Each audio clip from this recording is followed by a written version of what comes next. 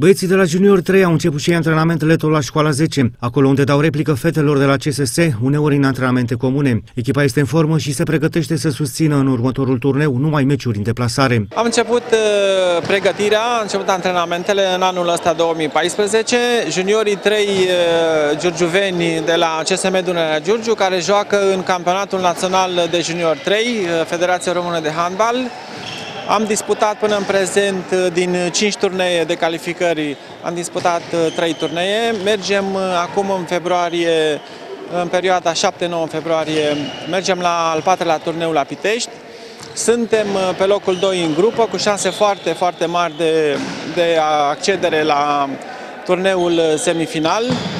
Uh, dacă mai batem Steaua odată, putem, la, acum la Pitești, putem spune că suntem calificați matematic în 99%.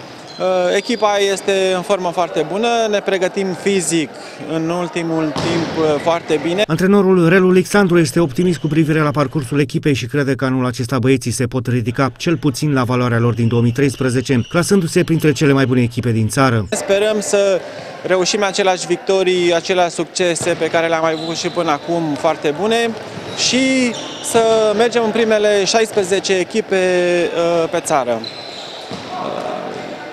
De ce nu? Din primele 16 echipe reușim ca și anii, uh, ca și anii din urmă, ultimii 4 ani, 5 ani, uh, în primele 8 echipe din țară, să sperăm un loc mai bun decât locul 6 anul trecut.